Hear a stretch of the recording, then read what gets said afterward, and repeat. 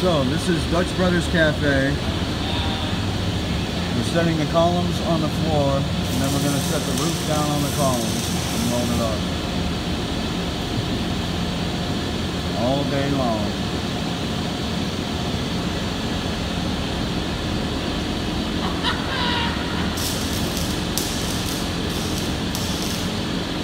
Is our state-of-the-art fabricating facility.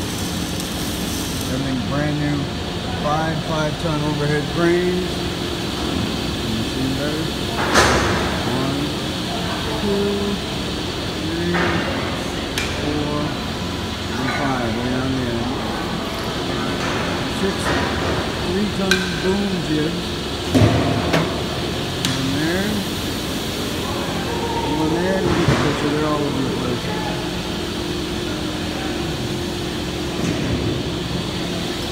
This is Brutus, our plasma robot beamline. We'll get back to that later.